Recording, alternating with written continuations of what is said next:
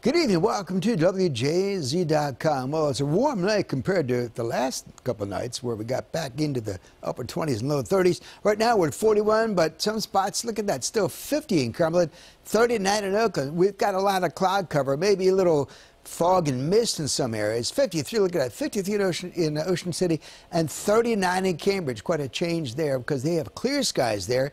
Ocean City, some clouds and winds coming in off the water. 38 in Bel Air up there, 31 over in Rock Hall. Plenty clouds around this afternoon, at 6 o'clock. South of us, pretty clear. West of us, some light shower activity beginning to break out.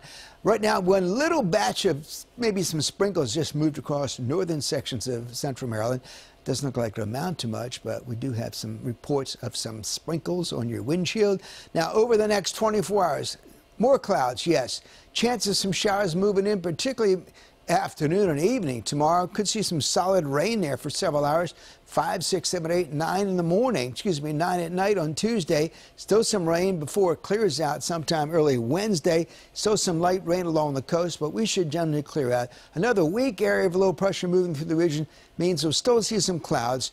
But on Thursday, colder air comes in and even colder temps as we head into the weekend. Now, Friday afternoon along the East Coast, maybe some shower activity. Could be cold enough from some spots for a little bit of wet snow mixing in in some areas, although the chances aren't that great. Saturday morning, still plenty of clouds along the east coast, but we'll clear out. Expect to see some sunshine. Could be some snow showers, particularly in western Maryland, with some lake effect snow. A lot of it expected around Buffalo and Cleveland. Some areas could see one to two feet of lake effect snow. Yeah.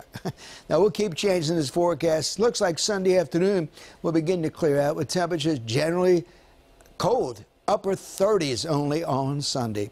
The Bay forecast south winds gust to 20 knots. There'll be a small device on the Bay Tuesday. Overnight tonight, patchy fog, yet cloudy skies, maybe some spotty drizzle here and there. 42 by morning tomorrow, spotty rain developing. 62 degrees tomorrow ahead of that next front, but very mild, at least through all day tomorrow into early Wednesday. Wednesday, we start dropping a little bit, back down to 50. 48 on Thursday, 42 on Friday, and 41 by the time we get to Saturday. Sunday looks like only around 37 for a high with partly cloudy skies. There's a slight, slight chance Friday night you might see a few snowflakes, mainly east of the region. Uh, there's been some debate on whether and low pressure actually develops, but slight chance, at least some of the models show some activity south and east of us. A little bit of late rain and snow at snow mixture perhaps. More on that later this week, of course. Updated forecast coming up later tonight.